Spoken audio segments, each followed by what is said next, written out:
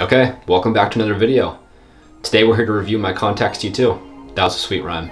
I'm not to bore you with all the specifics because you probably already know what they are. You just want my thoughts and opinion on it. So let's jump into it.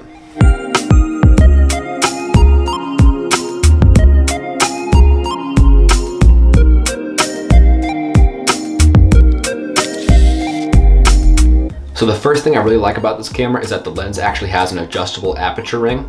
The reason I like this so much is because I get to control my depth of field and on a 38 millimeter lens, when you already have some lens compression, it comes in really handy whenever you're trying to get either a shallow depth of field or a really long depth of field. So it gets brownie points in my book. So the next thing I really like is that you can set the focus to infinity. What's great about it is that if you're trying to shoot photos through either a car window or just a subject that's really far away, you know that it's gonna be in focus. A lot of the times, if you're trying to focus on something really far away, it might not grab perfect focus and your photos won't be as tack sharp as you were hoping. Another thing I really like about this camera is actually the flash. I know I do have a flash burn on mine right now, but even so, it's a super bright flash and lights up the entire room. And you actually do have two modes for this camera too. One being a single flash burst, and the second mode being a double flash burst to reduce red eye. Even though you can fix that in Lightroom nowadays, it's still cool that they have it. And the final thing I like about this camera is how sharp the lens is. The lens was made by Carl Zeiss and he is known for making extremely sharp lenses. The lens I'm actually filming on is a Carl Zeiss lens and the detail this lens has is just awesome. I got it off Facebook Marketplace for really cheap. I know the price of these cameras had gone up an extreme amount, but I actually got it for a pretty good price that didn't break the bank. Ever since one of the Jenners people took this on Fallon, I don't know which one it was, but it was one of them.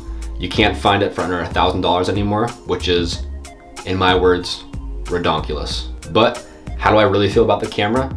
Honestly, it's pretty cool. I like the fact that I can just throw it in my bag and capture any behind the scenes photos I want to get while I'm on a trip or don't feel like lugging around my camera with. This is great and I don't have to take this thing too seriously. One thing I like about point and shoots in general is that I feel like you focus on your shots a lot more. When the camera is doing everything for you and all you have to focus on is your composition, it's really just great practice if you're trying to improve your eye. No, you don't need this specific point and shoot to do that. Any point and shoot will do you just fine, but we'll talk about that in a second.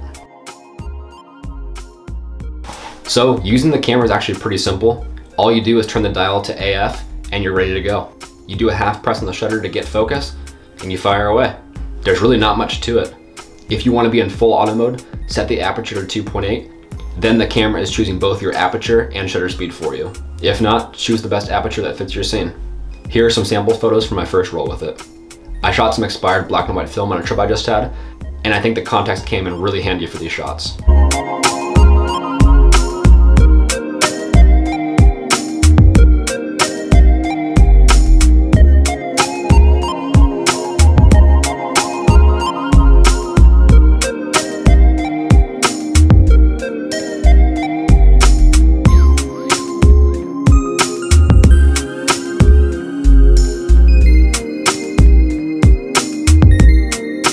So I guess the final question we answer is, is this camera for you? And to be honest, I don't really know if it's for you. Frankly, it's not really for me. Do I enjoy it? Yeah. Does it look cool? Yeah. Do you get good photos from it? Yeah. But if you want full control over your camera, then it's not for you. I personally think it's pretty cool because I like the innocence of a point and shoot. I feel like for me sometimes it allows me to be more present in the moment. I don't have to worry about all of my settings and I just get to capture what I see. And there is a lot of alternatives. This isn't the only point and shoot on the market. It just happens to be one of the most popular ones. But I think that'll be it for this video.